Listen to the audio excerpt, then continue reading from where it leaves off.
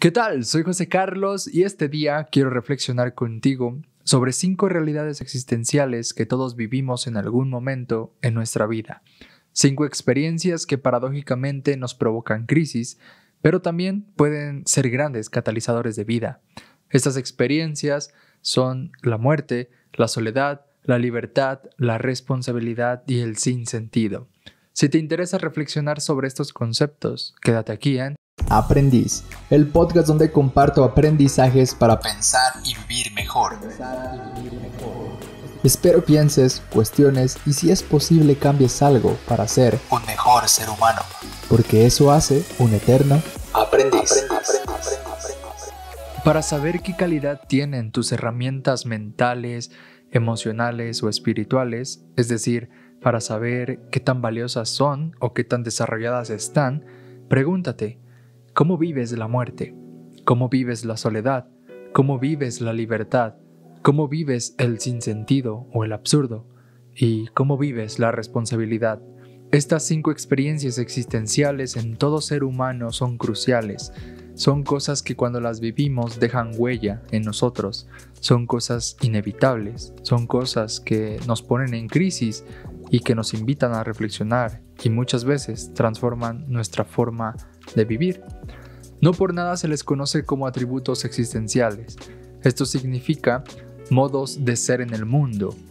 La palabra existencia, en términos fenomenológicos, eh, eso significa el modo en el que las personas somos en el mundo. Existir es darme cuenta de que soy, de que estoy en el mundo, siendo y viviendo de algún modo.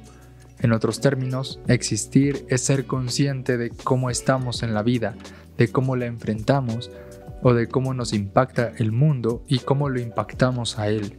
Así que cuando hablamos de atributos existenciales, estamos hablando de formas eh, de ser en el mundo, de realidades que nos hacen habitar este planeta de un modo muchas veces conflictivo, confuso, incierto, pero también vital, creativo y cargado de significado. En resumen, se trata de cosas que nos mantienen con vida, no necesariamente como quisiéramos, pero nos mantienen existiendo.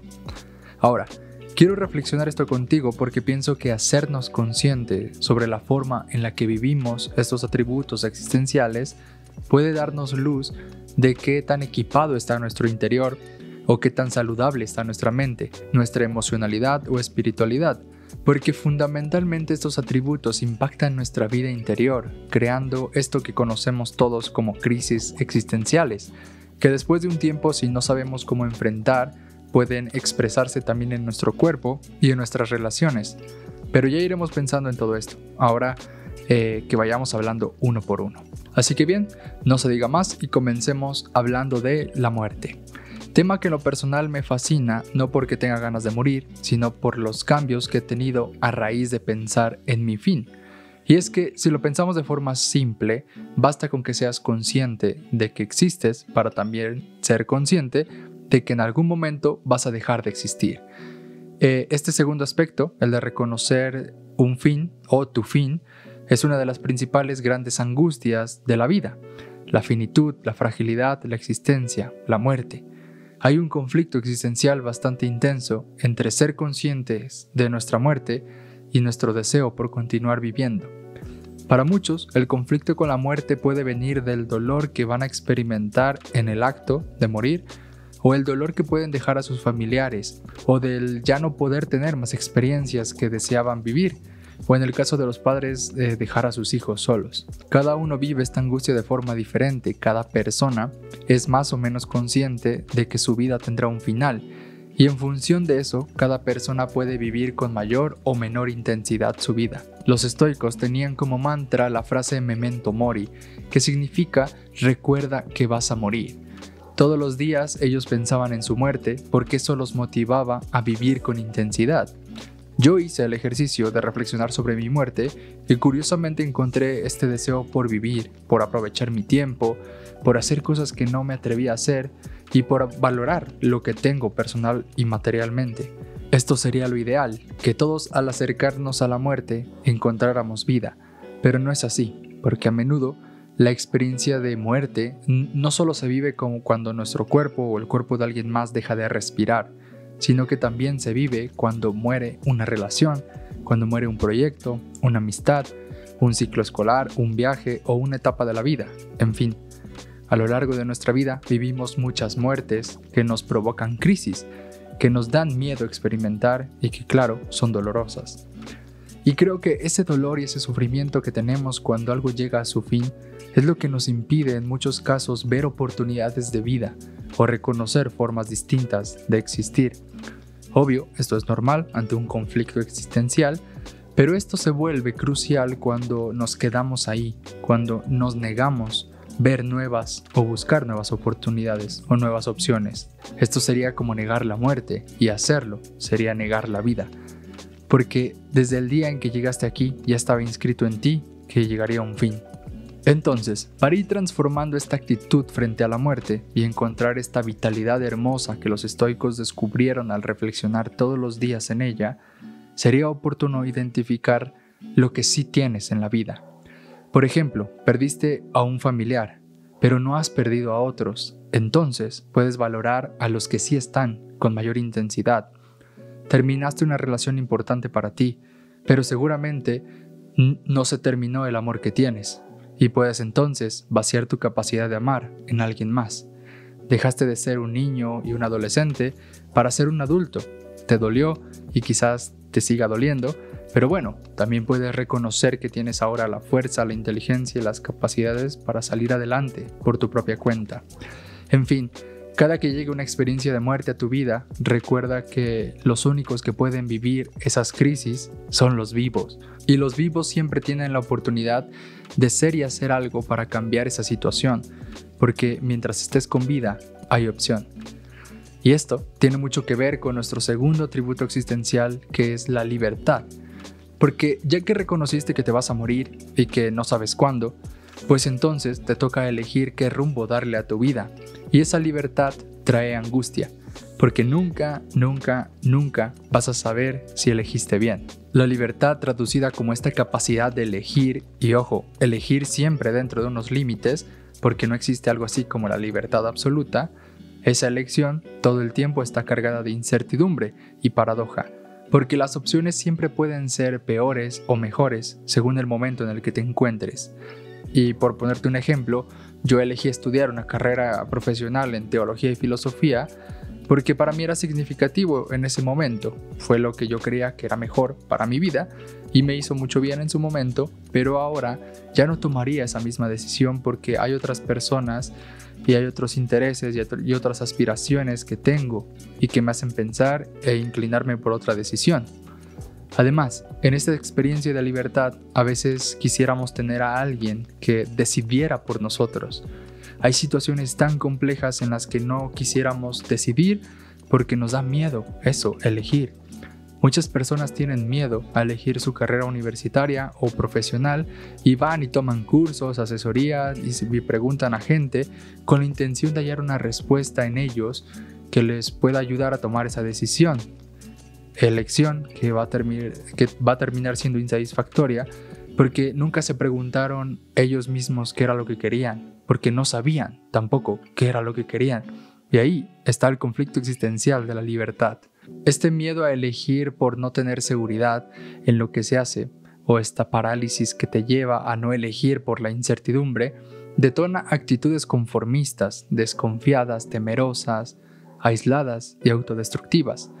Lo que podemos hacer si vivimos algo así es volver a elegir, elegir una actitud distinta frente a lo que estás confrontando.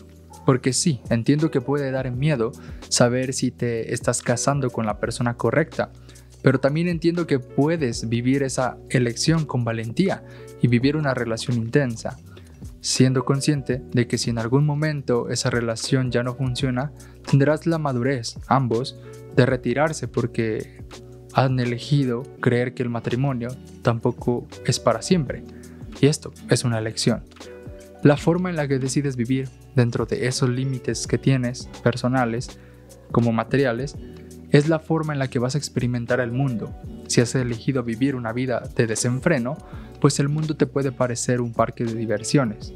Si has elegido vivir un estilo académico, pues el mundo te parecerá un laboratorio de investigación. Y bueno, a lo que voy con todo esto es que será inevitable que durante todos los días que pases en este planeta tengas que elegir algo. Y después de hacerlo, asumir las consecuencias. Y esto último nos lleva a nuestro siguiente atributo existencial, que es la responsabilidad, que en términos simples definámosla como la habilidad de responder. Cuando tú ya sabes que te vas a morir y has elegido vivir tu vida como a ti te parece mejor, pues te vas a encontrar con consecuencias que te van a exigir una respuesta, te van a exigir que enfrentes eso que tú has elegido y eso que la vida te presentó no puedes no responder a lo que te enfrentas, porque si te resistes a responder, incluso estás respondiendo. Entonces, tal vez lo mejor es aprender que lo que te pasa a ti lo vives tú y lo tienes que enfrentar tú, porque solo tú estás asimilando eso que te está pasando. Yo no puedo vivir por ti, te puedo acompañar, pero esa decisión difícil que tienes que tomar la tienes que hacer tú porque a ti te va a impactar. Incluso si alguien toma una decisión y termina impactando tu vida, tu habilidad para responder a lo que el otro decide te presenta una oportunidad para valorarte, para valorar lo que sientes, lo que necesitas, lo que deseas. Por ejemplo, si mi jefe decide despedirme de mi trabajo, el conflicto al que me voy a enfrentar después de eso tiene que ver con mis capacidades de responder a lo que quiero hacer con mi vida. Eso puede ser, ok, tomar ese momento y entonces ir a buscar un nuevo empleo o sumergirme en una profunda depresión. Cada uno va a responder de una forma y esa respuesta es la que creo que hay que cuidar, porque en esa respuesta pueden o no encontrarse nuevas oportunidades, nuevas cosas que hacer, como eso, conseguir un nuevo empleo o emprender un proyecto. Bien, esta forma en la que te haces responsable de tu vida tiene mucho que ver con lo que haces o no por ti. Y esto tiene que ver con la conciencia de tus necesidades, de tus aspiraciones y deseos, porque cuando tú reconoces que necesitas amor en tu vida, puedes entonces responder de cierta forma. Algunos lo hacen buscando a miles de personas para vaciarse en ellas o en ellos, y otros responden dando su amor a unos cuantos amigos, familiares o hasta mascotas. Mientras más consciente eres de tus necesidades y de tu valor como persona, creo que mejor puedes responder ante la vida. En este caso, puede que tu jefe te despida, pero sabrás que eso no te impedirá encontrar algo nuevo. Puede que tu relación termine, pero sabrás que tu amor no termina ahí. Puedes que te sientas solo, pero también puede que te sientas acompañado por alguien importante para ti. En fin, así pasamos al siguiente atributo existencial que es la soledad. Un tema bastante mencionado entre los millennials o adultos jóvenes que andan por los veintitantos, treintas y que se representan muy bien en estos TikToks que de forma cómica dicen que tengo 20, tengo 32 años, no tengo terreno, tengo muchas deudas, trabajo todo el día, tengo inestabilidad emocional, una relación tóxica y ansiedad, pero con un Instagram envidiable, por decir algo. El caso de la soledad viene del darse cuenta que nadie puede vivir por ti, que nadie puede morir por ti, que nadie puede elegir por ti, ni tampoco responder por ti. Y eso te hace único e irrepetible en este planeta. Y llegas a partir de ese camino a la conclusión de que estás solo. Justo, este es el conflicto de la soledad. Nadie es como tú, ni nadie lo será. Nadie puede vivir tu vida, ni sentir lo que tú sientes, ni querer lo que tú quieres. Nadie puede, como te lo dije, morir por ti. De manera existencial, estás solo, estás sola.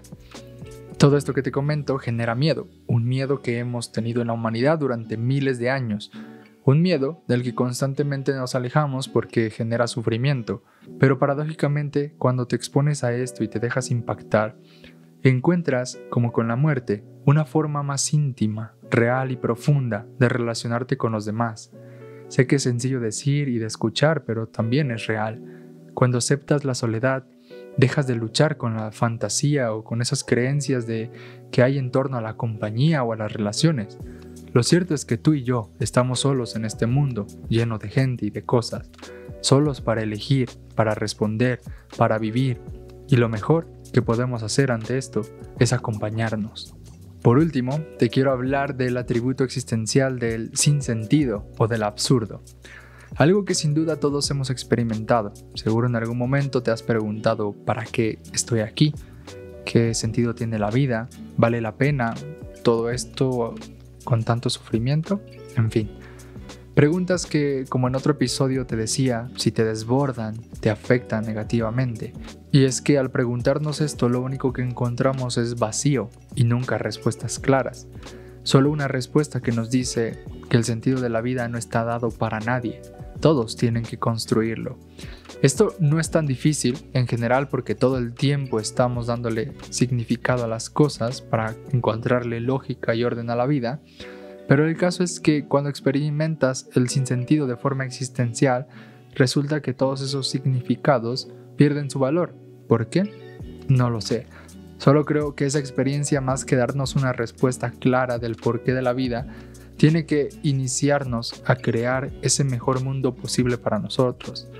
Porque a menudo este sinsentido existencial viene de una flojera, una decepción, un cansancio, una apatía, una depresión frente a la vida, actitudes que sí se detonan al estar viviendo en este planeta, pero también son actitudes que se pueden transformar si elegimos afrontar el absurdo con aprecio incondicional o desde otra óptica, es decir, valorar las cosas por lo que son y no por lo que quisiéramos que sean. En este sentido, aplica mucho lo que decía Nietzsche. Quien encuentra un porqué para vivir, encontrará siempre un cómo. Y es que creo que a menudo estas crisis que vivimos en torno a los atributos existenciales vienen también de este choque que hay en nuestro deseo por natural, por encontrar un orden, una lógica, un control, cuando en la vida, además de eso, también hay incertidumbre, confusión, paradojas y más cosas incómodas eh, para la existencia, pero que también paradójicamente, dotan de significado y sentido a la vida. Nadie podría ser feliz si no considera la infelicidad. Nadie podría encontrarle sentido a su vida si no se atreve a valorar el absurdo de la vida. Y bien, ya para ir concluyendo esta reflexión y enlazar con la siguiente sección del podcast, en la que te comparto un pensamiento de un autor para pensar y sentir, quiero leerte un texto de Martín Villanueva que me pareció genial no solo porque resume todo lo que ya te he platicado en este momento, sino porque lo dice de una forma excepcional y, aparte comparte su experiencia de estos cinco atributos existenciales. Así que bien, solo presta atención y escucha. Soy mortal e indescriptiblemente frágil, débil, limitado y desamparado soy un punto invisible en un pequeño planeta en el que solo alcanzaré a dar un número insignificante e incierto de vueltas diminutas alrededor de una estrella enana perdida entre más de 100 millones de estrellas que forman una de las 100 millones de galaxias que flotan en la inmensidad del espacio, girando en la eternidad del tiempo. Mi vida es frágil y efímera, y sé que puedo perderla sin el menor aviso Estoy condenado a la muerte y sé con absoluta certeza que mi condena se cumplirá. Esta mano tibia y flexible que hoy detiene con firmeza un papel o un libro, un día estará tiesa y helada. No me cabe la menor duda.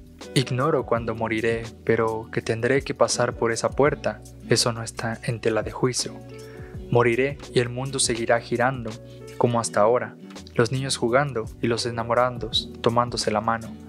Soy insignificante, pero paradójicamente soy único e irrepetible. Soy el ser más importante que ha existido y existirá en la historia del universo entero para mí. Soy grandioso y lleno de riquezas nuevas e inigualables. Y precisamente por ser único e irrepetible, por ser individual, estoy en la inmensidad del espacio de la vida. Mi mundo es mi mundo, y jamás alguien lo ha visto ni lo verá como yo, ni podrá entenderlo como yo lo hago, ni sentirlo como yo lo siento. Estoy separado del resto de la creación por mi individualidad, pero paradójicamente soy parte integral de ella. Soy parte del universo y mi presencia hace una diferencia, por mínima que ésta sea. Mi vida es mi vida, y precisamente por eso soy responsable del sentido que dé a mi existencia. Los caminos que tome serán mis caminos y solo yo podré responder por haberlos elegido. Pero, paradójicamente, Soy tan limitado que mi existencia está influida por un sinfín de factores incontrolables, impredecibles e incomprensibles. Y es precisamente por ello que tengo que elegir y soy libre. Mi vida no es más que mía y soy responsable por ella justamente porque puedo elegir el curso que dé a mi existencia sobre este mar de corrientes inciertas. Soy libre para dar un significado a mi existencia o destruir mi vida sobre esta tierra, enriquecerla o destrozarla, pero, paradójicamente, no puedo renunciar a mi libertad, soy esclavo de ella. Bien, pues creo que este texto no amerita ningún comentario, vale la pena que te quedes reflexionando en él. Ahora bien, quiero compartirte ya para ir cerrando la pregunta a pensar o a meditar durante la semana y es, de la muerte, la libertad, la responsabilidad, la soledad y el absurdo de la vida, ¿cuál es más frecuente que te genere un conflicto existencial? ¿Y cómo respondes cuando se te presenta? Muy bien, pues no se diga más, gracias por llegar hasta aquí, te mando un abrazo, nos escuchamos pronto y mientras tanto sigamos aprendiendo y no perdamos tiempo.